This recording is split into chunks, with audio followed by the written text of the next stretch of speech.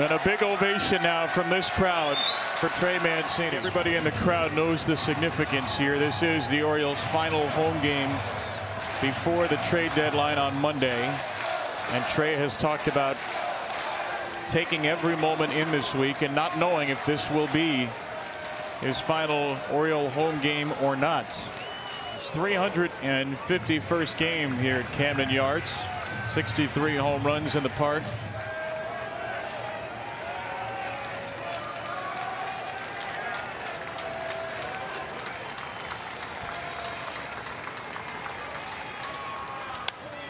In the air to right. Lowe will drip back. Lowe doesn't see it. Lowe lost the ball. Here comes Hays. Trey's going to go to third. Trey's going to be waved home. Here comes Mancini. He is Safe. Safe. Safe. Safe.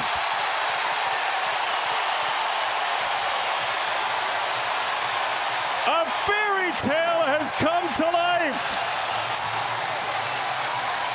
Well, I can tell you this. If it's his last home at bat, it will be one he will never, ever forget.